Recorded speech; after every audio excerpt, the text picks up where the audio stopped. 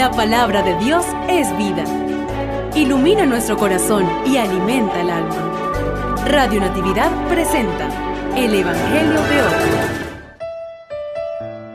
Lectura del Santo Evangelio según San Juan, capítulo 6, versículos 1 al 15. Gloria a ti, Señor. En aquel tiempo, Jesús se fue a la otra orilla del mar de Galilea, o lago de Tiberíades lo seguía mucha gente porque habían visto las señales milagrosas que hacía curando a los enfermos. Jesús subió al monte y se sentó allí con sus discípulos. Estaba cerca la Pascua, festividad de los judíos. Viendo Jesús que mucha gente lo seguía, le dijo a Felipe, ¿Cómo compraremos pan para que coman estos? Le hizo esta pregunta para ponerlo a prueba, pues él bien sabía lo que iba a hacer. Felipe le respondió, ni 200 denarios de pan bastarían para que a cada uno le tocara un pedazo de pan. Otro de sus discípulos, Andrés, el hermano de Simón Pedro, le dijo, Aquí hay un muchacho que trae cinco panes de cebada y dos pescados.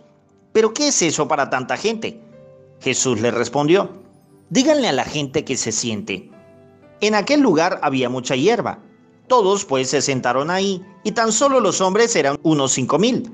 Enseguida tomó Jesús los panes y después de dar gracias a Dios se los fue repartiendo a los que se habían sentado a comer. Igualmente les fue dando de los pescados todo lo que quisieron. Después de que todos se saciaron, dijo a sus discípulos, recojan los pedazos sobrantes para que no se desperdicien. Los recogieron y con los pedazos que sobraron de los cinco panes, llenaron doce canastos.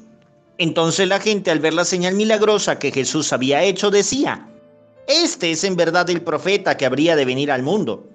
Pero Jesús, sabiendo que iban a llevárselo para proclamarlo rey, se retiró de nuevo a la montaña él solo. Palabra del Señor. Gloria a ti, Señor Jesús. Un saludo de paz y bien para todos aquellos que nos escuchan a través de Radio Natividad, la emisora católica del Táchira, donde estamos en sintonía contigo y con Dios para acercarnos a su Evangelio. Hoy la palabra nos enseña que no solo de pan vive el hombre, sino también de la palabra que sale de la boca de Dios. Sin embargo, la gente prefiere vivir del pan que de la palabra de Dios.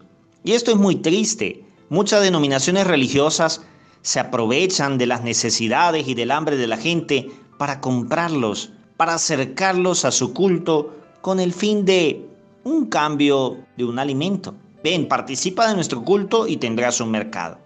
En la Iglesia Católica jamás verás eso. Te ayudamos sinceramente. El Señor multiplica los panes porque ve la necesidad de la gente y quiere que sus discípulos ayuden a cubrirla. Los pone a prueba, pero Él ya tenía un plan. El Señor multiplica lo que tenemos cuando lo damos con generosidad y buenas intenciones, aunque sean cinco panes y dos peces. Pero cuando damos por interés, Jesús se retira de nosotros. La gente decía, este sí es el profeta que tenía que venir al mundo, pero porque los alimentó, no por la palabra. Y al ver Jesús que querían proclamarlo rey por este motivo, se retiró de nuevo a la montaña. Jesús se retira de nosotros cuando tú y yo lo buscamos por interés. Jesús está junto a nosotros cuando tú y yo le mostramos nuestro amor y fidelidad. Nunca olvides eso. No olvides las etiquetas, los sacerdotes buenos somos más, y yo tengo un amigo sacerdote. Dios te bendiga. Gloria al Padre y al Hijo y al Espíritu Santo, como era en el principio, ahora y siempre, por los siglos de los siglos. Amén.